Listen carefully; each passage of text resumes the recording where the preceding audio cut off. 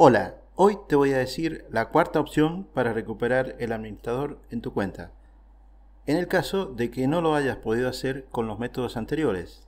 Esto también sirve si has perdido la contraseña para entrar a Windows, también lo vas a poder recuperar. Lo que vamos a hacer es una reinstalación completa, por lo que nos va a quedar un Windows completamente funcional con tu cuenta de administrador, etc. Lo que tenés que tener en cuenta es que se van a eliminar todos tus archivos y programas. Te va a quedar un Windows limpio, con todas las funciones, pero sin nada que vos le hayas agregado. Por eso, si tenés algo que no quieras perder, guardalo en algo recuperable, como puede ser un pendrive, una tarjeta de memoria, etc. Ahora, vamos al tutorial.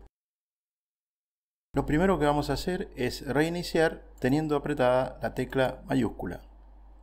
Vamos a reiniciar apretando mayúscula.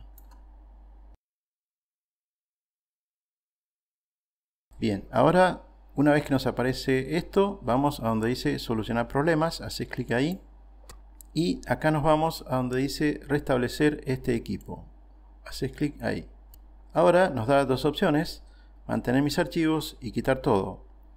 Esta opción solo te sirve si tu cuenta administrador no tiene clave o si le has puesto la clave y te acordás. Pero si no te acordás la clave de tu cuenta administrador, que es lo más probable que te haya pasado si no te han funcionado los métodos anteriores, solo tenés la opción de quitar todo, así que haces clic acá, en quitar todo. Una vez que hayas hecho clic en quitar todo, la computadora se va a reiniciar y va a seguir el proceso.